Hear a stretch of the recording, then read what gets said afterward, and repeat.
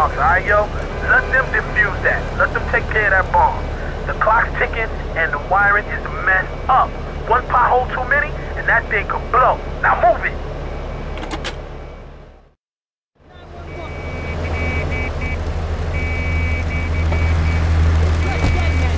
And now it's time for a public service announcement from station owner Donald Love. Hello, my name is Donald Love. You're listening to a Love Media station. Enjoy. All right, we're back here on Chatterbox, the radio show that never gets old. I'm Lazlow with open ears and a closed mind. Hello, you're on the air. What's your name? I wanted to talk I ain't bitching you.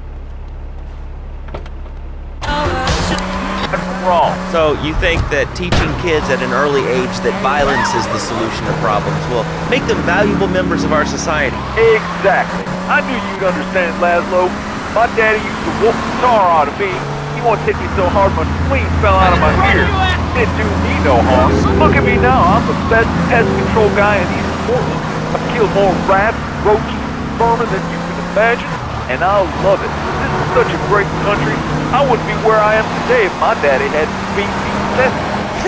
What are you talking about? Man, I'm starting to believe that guy about the fluoride in the drinking water. Listen, if there's any sane person left in Liberty City that can hear my voice, please call the show right now. This is an SOS going out across the city. All right, let's go over to this line. Hello, caller. You are on the air. Are you sane? Are you a sane caller? Absolutely, Lazlow. Killer bees. Killer bees. Yes, killer bees. Did you know that if the current migration rate continues, we will all be dead in three years? Did you want to become a bee stopper? I don't. That's why we must act now. Killer bees must be stopped. I wonder why more people aren't talking about this. I mean, killer bees swarming, it sounds pretty serious. Ah, but the killer bees are nothing compared to ants. You can't kill them. They're like sheep. They're going to take over. All right, thanks, caller. Ants, killer bees, fat people, what's plaguing you? Call now. Chatterbox, hello, you're on the air. Uh, yes. I'd like to say something about these damn people on trains and buses in the city who yammer on and on into their cell phones. I'm really glad we get to hear about what you're having for dinner. What we should do is herd them up and put them on an island. I am the president of a group called Citizens Raging Against the Phone. Crap? Exactly. Your organization's called Crap. What, what kind of moron are you? You, you want to round people up for using a phone? But you're, you're calling up on a phone to, to tell the world about it. I mean, how many people are there in this crap? Citizens are raging against phones, Lazlow. How many people? There are three of us. It's hard organizing meetings without the phone, though. We've had to resort to carrier pigeons, and they keep disappearing. What are you speaking to me on? What's it, what's that in your hand?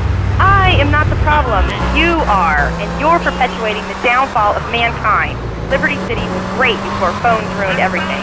Liberty City was a church, a cow pasture, and three houses when the telephone was invented. Liar! You're the liar. Liar, liar, pants on fire. What are you? Are you are you three years old? Lazlow's a liar. Lazlow's a liar. I bet that isn't even your real name. Shut up, You shut up. stupid. Nanny, nanny, boo. Stick your head in doo doo. Oh, we're going to commercials. Is your job affecting your health? Do you become fatigued? Does working take time away from family and social events like watching wrestling? There's an easy solution. Sue your boss. See, the great thing about this country is you can sue anyone for pretty much anything, and you'll probably win, or at least get a settlement. At the firm of Rakin and Ponzer Personal Injury Attorneys, we can show you how falling down and howling like a sissy can result in a large damage award from your employer. We also specialize in awards for injuries suffered in auto, bus, and train accidents, and can even train you to throw yourself in front of a bus and pretend to be injured. Hey, that's why they pay for insurance. Call the law offices of Rakin and Ponzer and get ready to enjoy a life of luxury. All right, we're back on Chatterbox. Let's uh, go to the chatter line here. Hello, caller. You're on Chatterbox. Lazlow, I just wanted to make your viewers aware that. Okay, now this is a radio show. We don't have viewers. We have listeners. Uh, okay. Anyway, Lazlow, I just wanted to make your viewers aware the first International Puppetry Festival is next month at the fairgrounds, bro. If you're interested in becoming a puppet master or a ventriloquist, you should definitely come down, dude. It's gonna be totally killer. I wasn't aware that there was much demand for puppet shows these days. Oh, man. Have you been living under a rock, bro? Guys with puppets get chicks. I take my monkey puppet to the park all the time. We play hacky sack together. It's rad. But anyway, dude, at the International Puppetry Festival, we'll be having workshops on finger puppets too. Hello, Petunia the Pinky, meet Barry the Thumb. String puppets, glove puppets, dude, it's gonna rock. okay, thanks. Hope to see you there, Lazlow. Hey, by the way, can you give me that guy Fernando's number? Nah, I'm sorry. Fernando hasn't paid his bill to our ad sales department. But here's someone who has, and they paid us in stacks of old groats and gold guineas. We'll be back after this. Do you live in the boring suburbs but dream of living in a lonely castle on a windswept moor? Do you long to trade in your sweatsuit for a hundred pound suit of armor and swap your SUV for a noble stallion? Do you eat microwave dinners? All the while wishing you were roasting a suckling pig at a pagan banquet. Is your next ideal home improvement a moat? Well, get ready, Liberty City!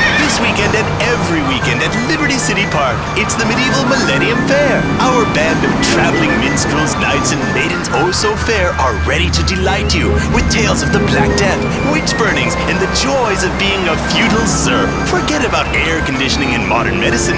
We've got all the leeches, spells, and potions you need at the Medieval Millennium Fair. Learn the art of cooking with turnips.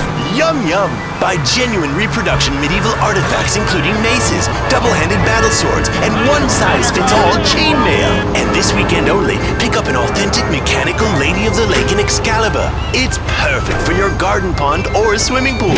And learn how to rid your condo of vermin using a penny whistle and a mysterious prancing German named Hans. The Medieval Millennium Fair, every weekend at Liberty City Park.